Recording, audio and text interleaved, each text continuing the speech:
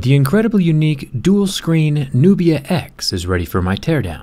With a fully functional display on both sides of the phone, it'll be interesting to see how this is put together from the inside, and how it differs from, you know, a normal single screen phone. Let's get started.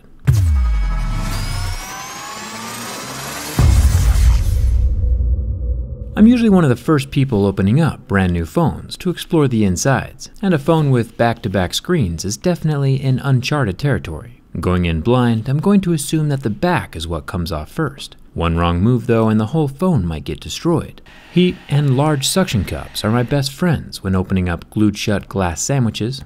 The heat softens the adhesive and allows my razor blade to slip in and slice through the black sticky stuff holding the phone halves together. If my metal pry tool or razor blade gets too deep though, I might end up damaging some of the sensitive ribbons, the battery, or the rear screen this time around. And since I have no idea what I'm in for, I'm going pretty slow and being super careful.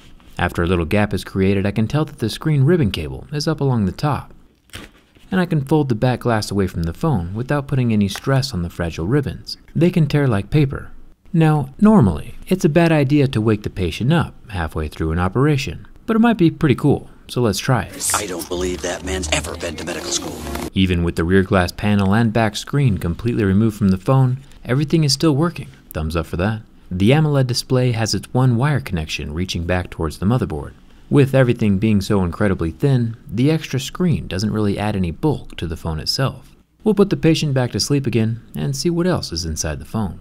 Normally I try to disconnect the battery first, so there's no power running through the device but everything is still hidden under this large black sticker and also screwed in and held down under the top metal plate, so I'll risk it, unscrewing the little silver latch over the rear AMOLED connector and pop it off with my plastic pry tool, just like a little Lego. A clear phone definitely won't be possible this time around. Trying to remove a display panel that's glued to glass is like brain surgery on a potato chip. Something is to crack. So I'll be leaving it alone this time around. The top metal plate has 8 screws holding it in place, I'll remove those, setting them off to the side in an organized fashion. There's one little ribbon cable for the rear sensors still attached to the motherboard. I'll unplug the battery though first with my plastic pry tool and then proceed to the small sensor ribbon. I'll remove the dual SIM card tray and then make my way to the row of ribbons down at the bottom.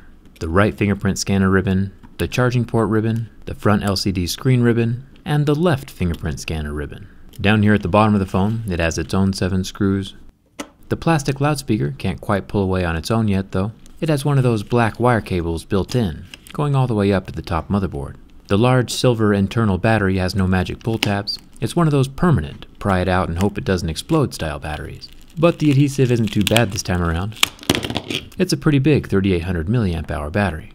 The charging port has one gold ribbon connector, a single black wire cable, and one tiny silver screw holding it in place. After that, the whole thing can lift up and pull away from the phone, along with its large coin-style vibration motor that's soldered onto the board.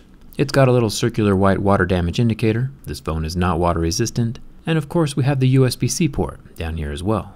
Making our way back up to the top, we can see the ribbon path from both fingerprint scanners that plug into each side of the motherboard. The motherboard itself has one screw holding it in place by the little square earpiece speaker, and then the whole thing can pull away from the phone body, revealing its bubblegum-like thermal paste. That uses the aluminum frame of the phone as a giant heatsink. The rear camera connectors are hidden under this metallic tape.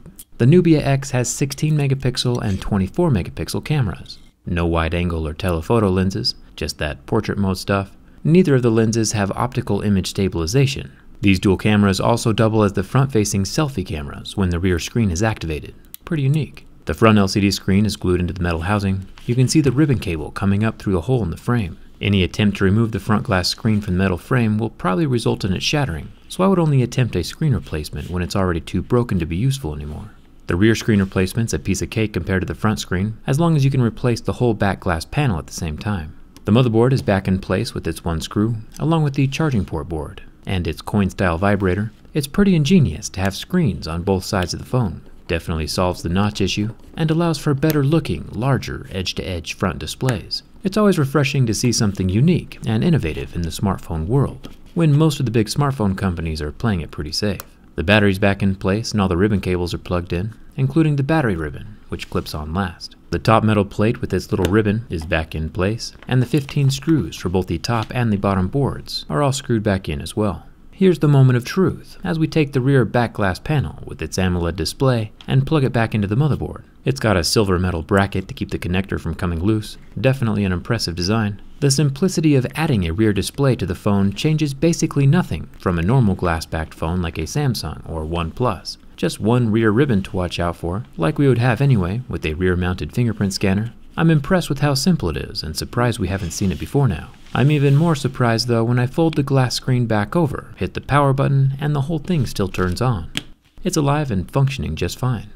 Do you think dual sided smartphones are the way of the future? Or is this more of a gimmick that'll fade away with time? Let me know down in the comments. Come hang out with me on Instagram and Twitter, subscribe to PewDiePie, and thanks a ton for watching. I'll see you around.